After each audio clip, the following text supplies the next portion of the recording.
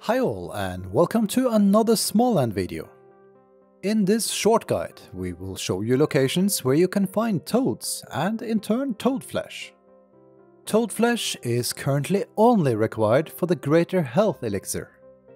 That said, the Greater Health Elixir is in turn needed for the special Healer armor set and you'll need to kill more than a few toads for that.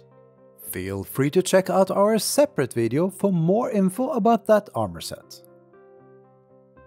This is our Pixelcave resource map. Toads can be found day and night at these locations.